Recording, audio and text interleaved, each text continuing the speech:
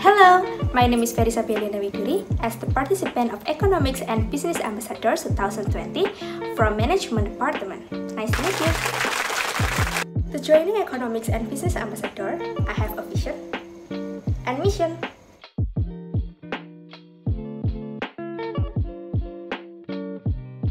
My vision is to create an economic and business ambassadors in Faculty of Economics and Business that has a solidarity spirit, high knowledge, and active in economic and business terms. For my mission, I have three missions. My first mission is increase togetherness with internal members of the economic and business ambassadors and create harmonious relationship with all students of Faculty of Economics and Business. My second mission is become a base of information and sharing discussion for students in Faculty of Economics and Business.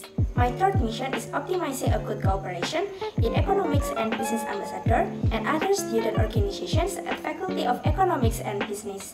As I said earlier, I have three important parts in my vision, which are solidarity spirit, high knowledge, and active.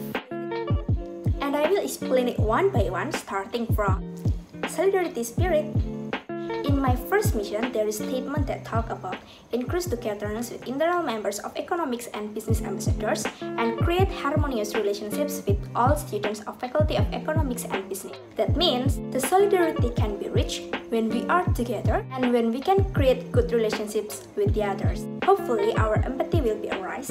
If we are used to it, then over the time, the sense of caring for others will become a habit and then high knowledge.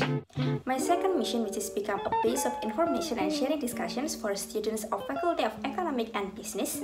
That means we need to know a lot of things, especially in economic and business because it is related to Faculty of Economics and Business missions, which is to be superior in the field of economics and business based on the values of Christianity.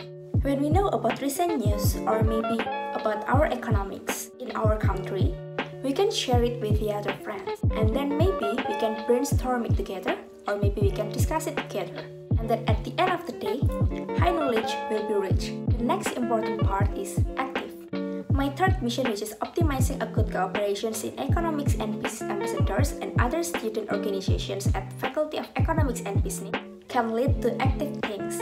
For example when we socialize with each other to keep good relationship can make us to be active we want to participate in a lot of things.